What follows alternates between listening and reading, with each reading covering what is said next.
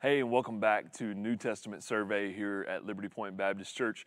We've made it up to our sixth week here. We're at the halfway point uh, this morning, and uh, today we are in the book of Romans.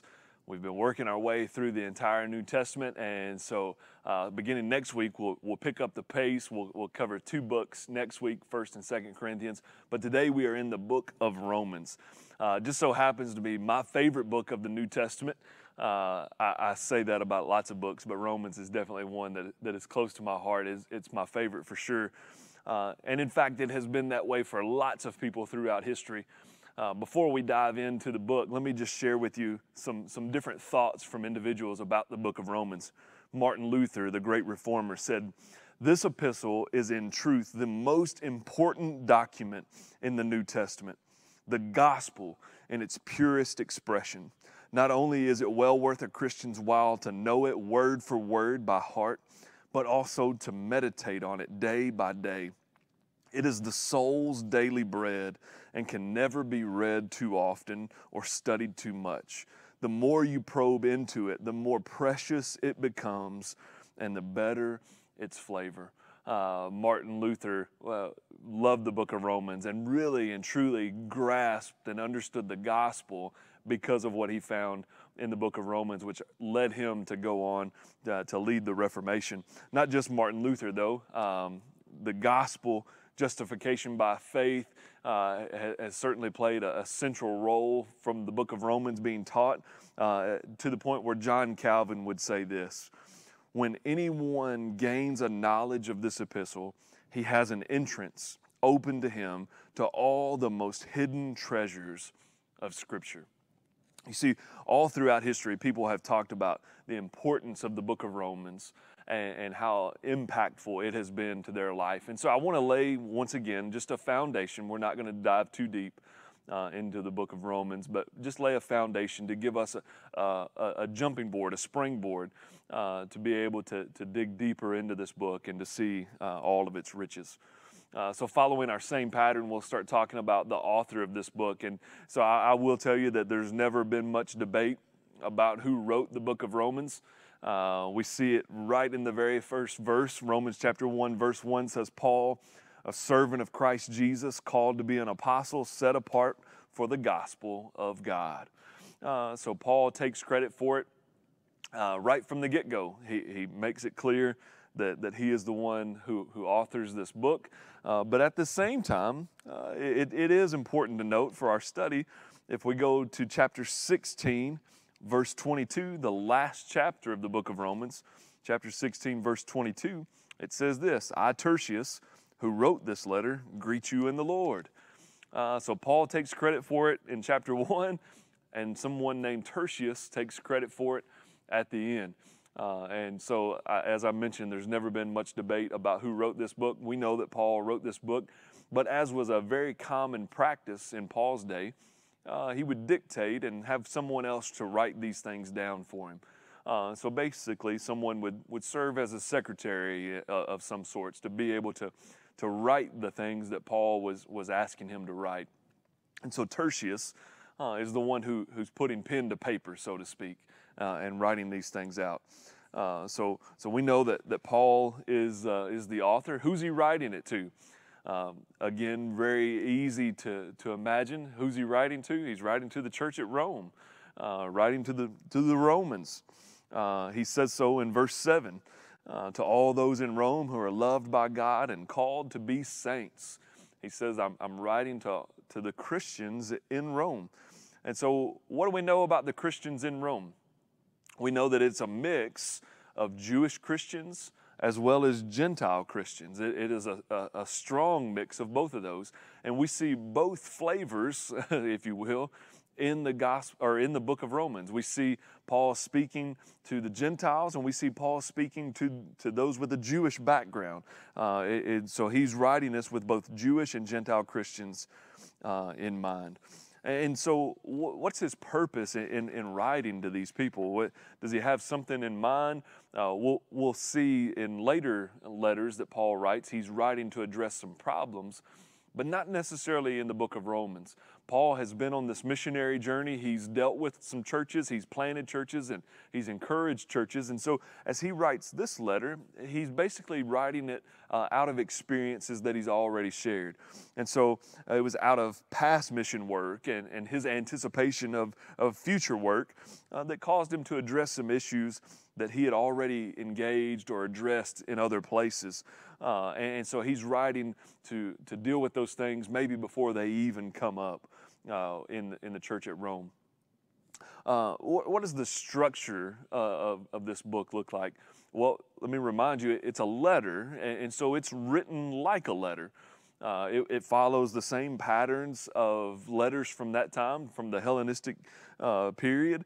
Uh, you, you get an introduction, you get a, a, a section of thanksgiving, uh, then the body of the letter, and, and, a closing greeting. And so Paul follows that, that same pattern.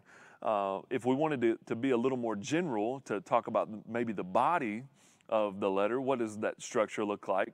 Uh, it, it, follows a similar pattern of, of most of Paul's other letters as well, where he starts off with, with theological truths. Uh, and so he, he begins by, by teaching some truths and then he moves to more practical things at the end of the letter. So basically, he, he follows this pattern of let, let, me tell you some truths, some, some theology, if you will. And, and, once you grasp this, we'll talk about how to apply it to your lives. And, and so Paul follows that same pattern. Uh, up to chapter 12, we see those, those deep theological truths that Paul is trying to get across. And then after chapter 12, it's basically what does this look like being lived out? How, how does this transform our lives? How does this make us live differently? Uh, and, and, so Paul follows that pattern in, in Romans as well. And so uh, that's what the, the structure of, uh, of his letter looks like. If you wanted to break it down, it might look something like this. An, an introduction comes in chapter 1, verses 1 through 17. Then the gospel is the righteousness of God by faith uh, is in chapter 1, verses 18 through chapter 4, verse 25. Chapter 5, we see that the gospel is the power of God for salvation, and that goes through chapter 8, verse 39. Beginning in chapter 9, we see the relationship between the gospel and Israel, and it raises a question that requires vindicating God's righteousness. Chapter 9, verse 1 through chapter 11, verse 36. And in chapter 12, as I mentioned just a moment ago, we see that the gospel transforms lives. And that's Romans 12, 1 through chapter 15, verse 13. And then the conclusion begins in chapter 15, verse 14, and goes through the end of the book uh, as it concludes there. Uh, so that's, that's the, the, the quick structure of what the book of Romans looks like. So let's, let's dive into the themes. This is the, the, the part that I, I enjoy the most. Uh, the, the first theme, uh, and this is definitely the theme of the entire book of Romans, uh, would, would be the gospel. The gospel. Now, if someone were to ask you, hey, hey, tell me what the gospel is, uh, I hope that you could give them an answer. And, and, maybe uh, you, you can pause this video and, and try to come up with an answer. Uh, but hopefully, it would include something like what the gospel literally means good news. And, and so, so what is the good news? What, what, what is this good news that, that I need to hear about? Uh, and so as, as, we, we dive into to what that good news is, hopefully you can, you can um, clearly articulate what, what the gospel is. And I think in order to truly be able to articulate what the gospel or what the good news is, we've got to first be able to see that there's some bad news. So imagine, if you will, uh, you're, you're a healthy individual, you exercise, you eat well, don't have, a, don't have an ache or a pain, no physical problems whatsoever, mentally strong, uh, and, and somebody comes to you and they say, Man, I found the cure for what's wrong with you. You would go, Well, I, there's, there's nothing wrong with me. I feel great. Well, yeah, but this, this is the cure for all your problems. Well, but I don't, I don't have any problems, so I, I don't need the cure. And so, in order for us to really and truly appreciate the gospel and understand that there is some good news, we've got to understand that there is some bad news. And so, Paul, in explaining the gospel, helps us to see that there is some bad news. He does so really in the first three chapters of the book of Romans. He lays out that there is some bad news. And so he, he understands and, and tries to convince uh, all of us that, that we are sinful and stand unrighteous before God. And so in the first three chapters, he, he makes this case. Uh, particularly in chapter three, Paul does an excellent job of helping us see that we have all sinned and fall short of the glory of God. Romans 3 23. Uh, he, he makes that case clear. And so if, if we understand that there's some bad news, then we can greatly appreciate the good news. So, so what is the good news? The good news is that even though we are unrighteous, even though that we are sinful people, that Jesus Christ paid the debt that we owed. He took our sin upon himself and died in our place so that we could become the righteousness of God. And so Paul says, hey, there is some good news, but first you need to understand the bad news. And when we understand the bad news, then we can really and truly appreciate the good news, which is the gospel. This is, this is the good news uh, of what Jesus has done for us. And so that first theme uh, starts in chapter one. Paul says, called to be an apostle, set apart, set apart for the gospel. Uh, Romans chapter 1, verses 16 and 17, he tells us uh, yet again that I'm not ashamed of the gospel, for it's the power of God for salvation, first to the Jew, first to the Jew, but also to the Greek. Uh, and, and, so we see the gospel in the in the beginning, but it, all the way through in chapters 15, uh, he, he closes out this letter as he's moving to his conclusion, uh, again, continuing to talk uh, about the gospel because he knows that the gospel is what saves people. Uh, and, and, so Paul, Paul wants us to see that the gospel is the, the overarching uh, theme of this entire book. Now, as we look at our, at our second theme, it really uh, kind of dives in a little deeper into the first theme.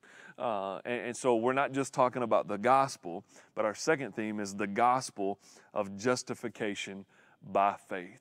The gospel of justification by faith. Most people uh, would, would say that this is the overarching theme of the book of Romans. In fact, uh, this was the belief of Martin Luther and John Calvin, and, and even Mark Dever says that justification is the word that could be used to sum up the entire letter. Uh, and, and, so, justification by faith is, certainly a, a, key point and a, and a, key theme in the book of Romans. So, so what is justification? Uh, Wayne Grudem gives us a great definition. I love this definition.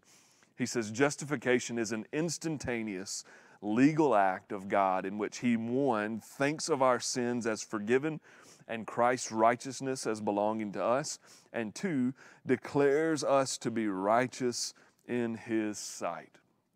Again, justification is an instantaneous legal act of God in which He thinks of our sins as forgiven and Christ's righteousness as being, being our own, and declaring us to be righteous in His sight.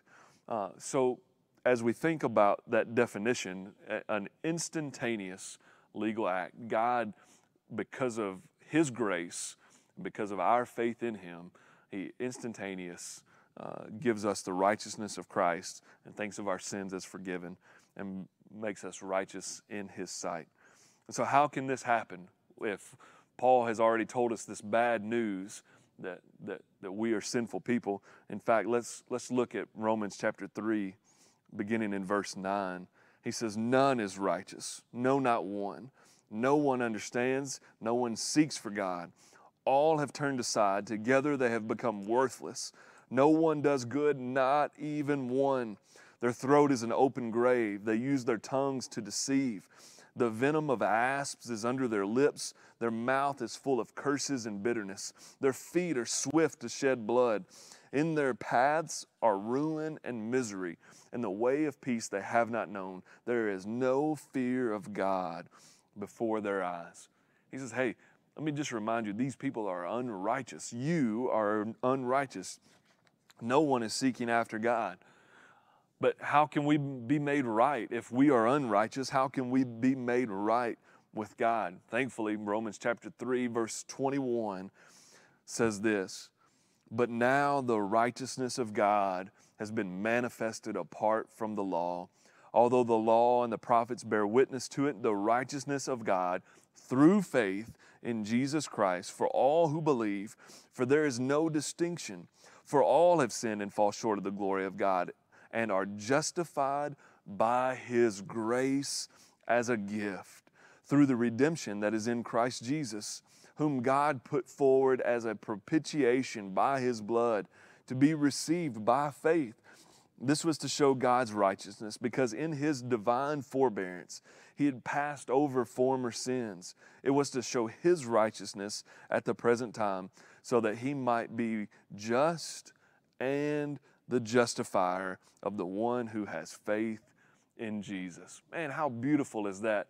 That God has decided that he is going to be just, but he's also going to justify us because of our faith in Christ. Uh, and, and so it's only by faith in Him, and it's only made possible by His grace.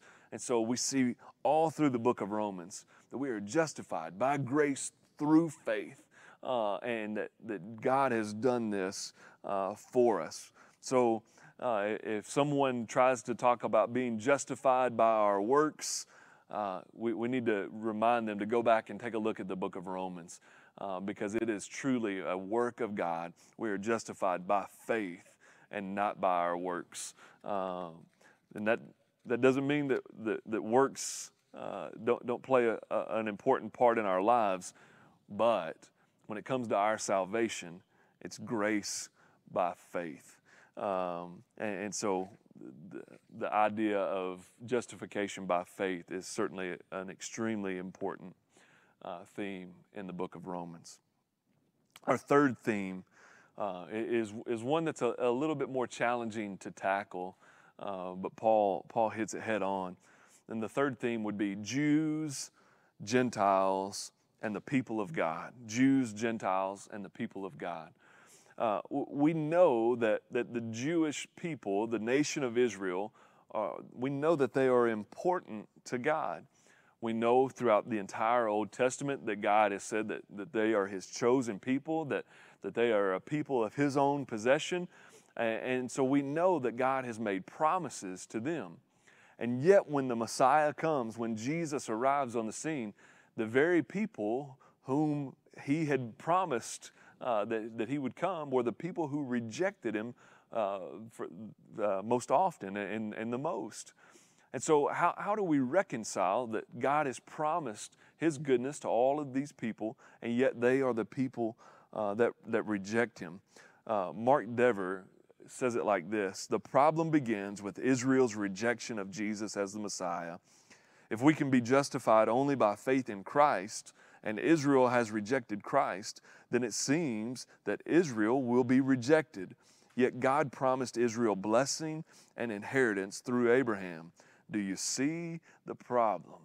And so we, we know that there, this is a, a, a tough, uh, tough dynamic to, to be able uh, to, to walk through. And so Paul says, hey, I, I, want you to know that God's promises for Israel are true. Uh, that, that, God's promise for the nation of Israel, for the Jewish people, th- those things are, are, are still true. And so in chapters 9 through 11, he tries to help us understand uh, that, that there will still be a, a, a number of, of Jewish people who, who are going to come to faith uh, in Christ, that there, there is going to be a, a revival. I, I, think he, he kind of points to that. But he also helps us to see uh, that, that the Gentiles are a part of this as well, that, uh, that, that it's not just a promise for the, for the Jewish people. Paul shows that, that God has not rejected his people, but instead he, proves that the Gentiles are, are in view uh, when it comes to God's saving plan. Uh, and, and, so God has not just come for the Jewish people, he, He's come for all people. And it's important to note, even in the Old Testament, when God is talking about His chosen people and uh, the people of, uh, of His own possession, that, that He also includes anyone and everyone who would come and be a part of that. He invites the nations to come even in the Old Testament. So God has a heart for the nations from the beginning. And so it's important for us to, to make sure that that is clear. And so as Paul is talking about Jews uh, in, in the book of Romans, he makes sure that we also understand that the Gentiles are included in this group as well, which brings us to our third group, the people of God. You see, he's not just talking about Jews and he's not just talking about Gentiles. He says that we've all been brought in together to be the people of God.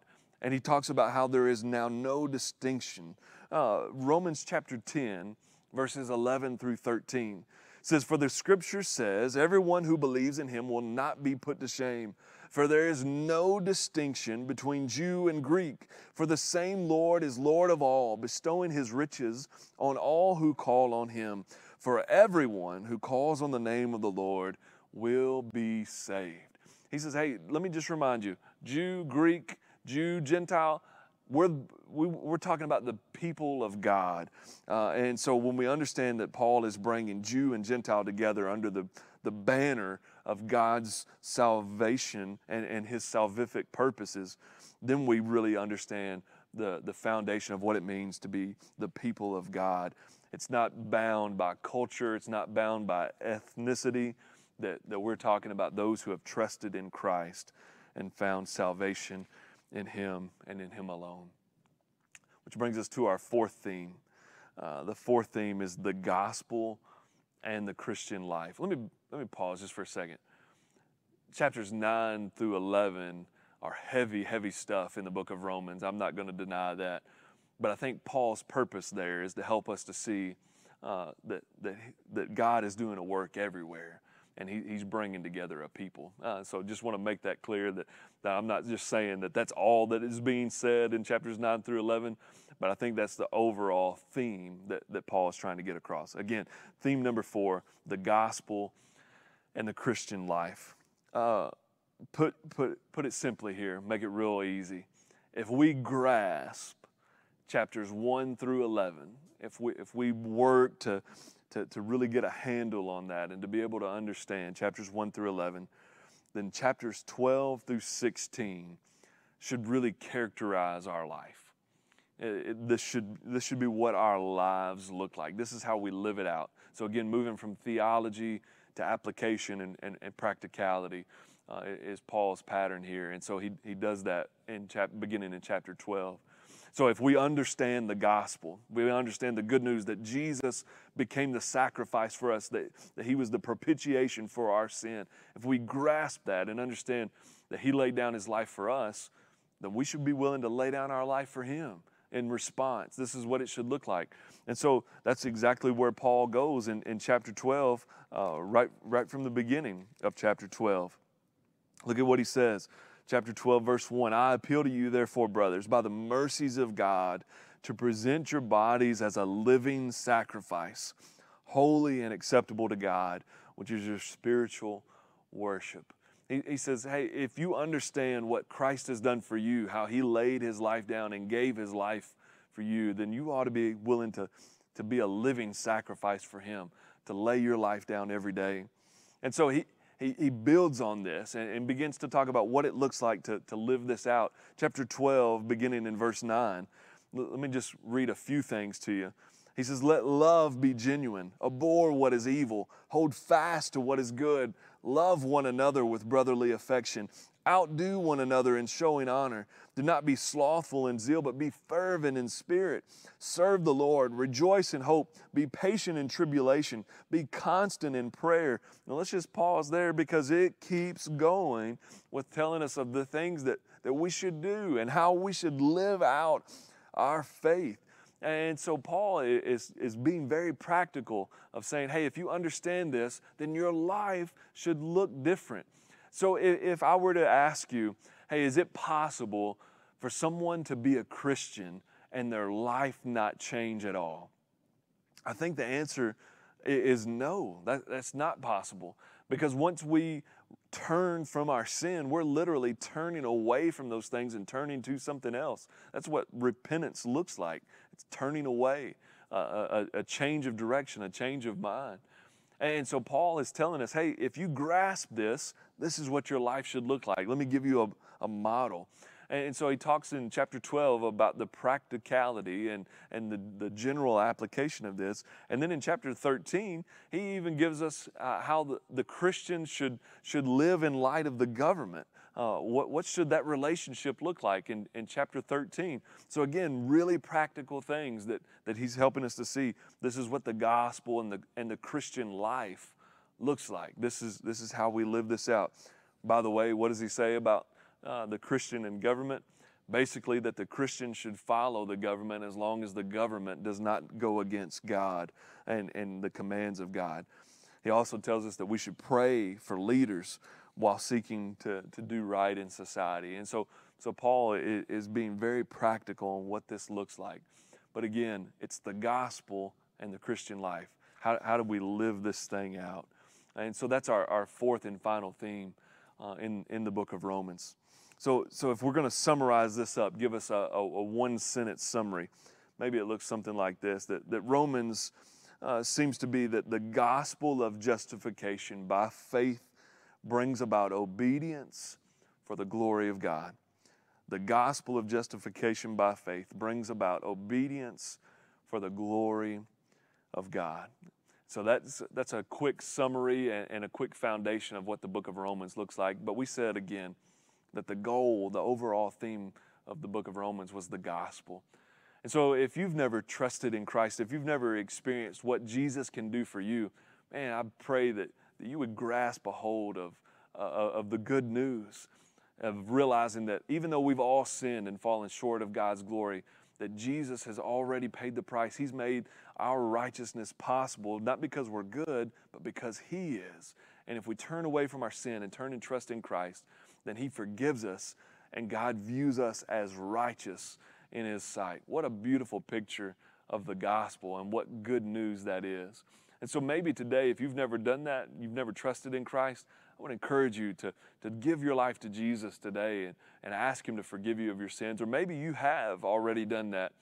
And we see this beautiful picture of the gospel in Romans. And so maybe you want to share that with somebody else. Uh, I would encourage and challenge you to do that today. Uh, but as we come to a close, uh, I would ask that you would go to the Lord in prayer with me as we uh, ask Him to, to help us to take this gospel to the world with us. Let's pray together. God, we're thankful for who you are and for all that you've done. And Lord, we pray, God, that you would help us to take this beautiful gospel that you've given us a clear picture of. And God, that we would take that to share with others in the world around us. Lord, we thank you for loving us even in spite of us. And it's in Christ's name we pray. Amen. Thank you for joining us. We'll see you next time.